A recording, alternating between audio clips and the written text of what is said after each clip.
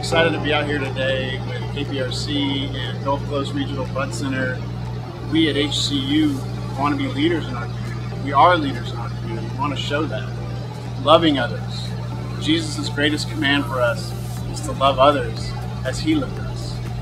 Gulf Coast Regional Blood Center relies on about 1,000 blood donations a day to keep up with 170 hospitals and healthcare facilities in the Gulf Coast area.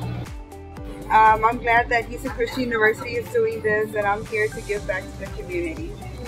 So blood donations help people who are going through chemotherapy, uh, trauma victims, um, if they're in a car accident. All these blood donations go into helping so many different people and one donation has the power to save so many lives.